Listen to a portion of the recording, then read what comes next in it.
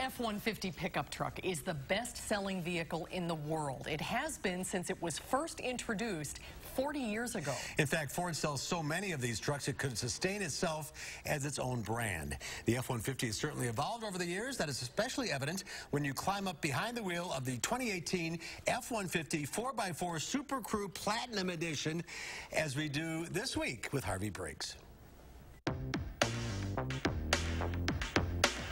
This is the F-150 Platinum, so I like to call it the boss's truck. We've got leather seats, we and not just leather seats, but we have heated and cooled massaging yes, leather I'm enjoying my massage right now. I'm glad. Hold on a minute. A pickup truck with cooled massaging seats? That ain't no real pickup truck. Well, yeah, it is, sort of. The Ford F-150 starts around $28,000 for a six-cylinder rear-wheel drive.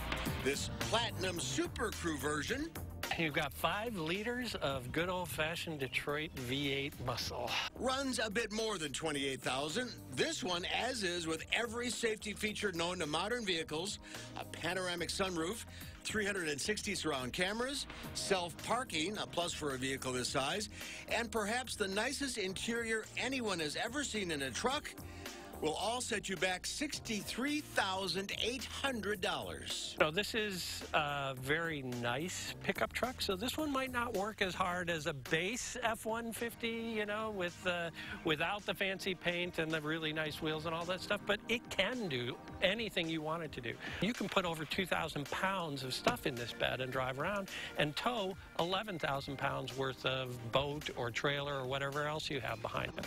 So essentially what we have is a $64,000 truck that's basically a luxury car capable of towing 11,000 pounds. People who are trading in luxury cars like BMWs and Mercedes-Benz for these highly appointed pickup trucks. People like the utility of it, like the idea of having the utility and capability, even if they use it once in their lifetime. That's a long way up here. Yeah, it's a tall oh, vehicle. Oh, there but, we go. Uh, Little assist.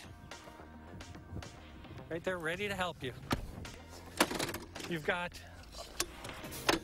a lovely little step. The old man stick. That's it. Uh, for us old guys, it helps us get to where we need to be.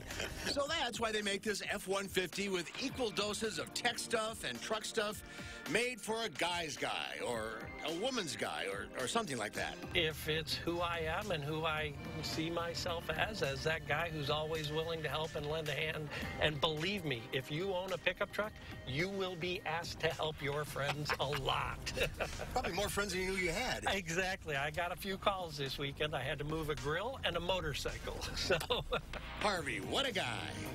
So that's the secret behind the F-150. No matter what you're after, a basic truck for work, a high-end family cruiser, or something somewhere in the middle, the F-150 has a trim and engine to fit your needs. Just don't bring up the word Chevy.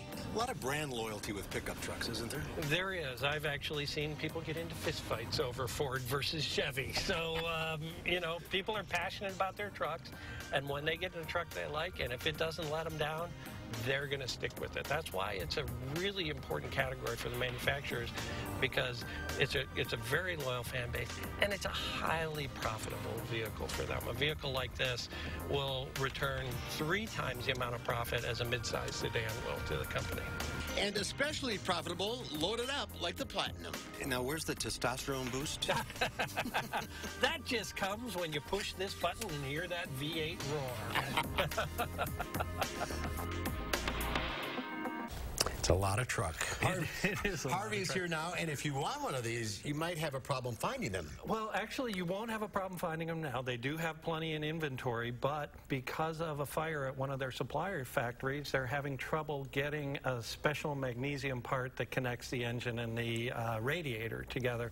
Um, and actually, it's not just Ford that's having this problem. It has shut down uh, factories, three of the four F-150 factories, but also Mercedes-Benz, Fiat Chrysler, BMW, BMW, they're all having trouble getting parts for some of their cars now because of this uh, fire in that factory. Wow. Now, you drive a sedan, so I'm curious how you thought it felt Well, driving. you're way up. I didn't drive it, but you're, you're and this is a big truck. I mean, Yeah. does it drive like a truck? Or No, it, No. It, it drives very much like a car now. You're very, uh, the handling is, it, it, it's not that sort of buckboard feel that you used to have in the old trucks. There's a lot of sound insulation in these, great power steering.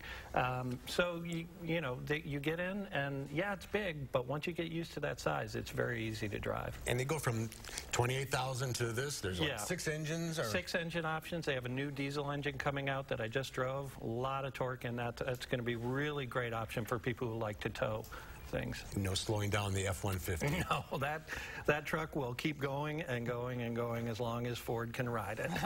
and make them at this point. yeah, exactly. All right, Harvey. Thank you. Next time we're doing Volvo XC60, which was just named the World Car of the Year. So we'll be driving that one around uh, a little later on. Looking forward to that. Great. Don't have to climb into it. No. All right. Thanks, Harvey. Thanks, Harvey. Good to see you. We'll be right back with the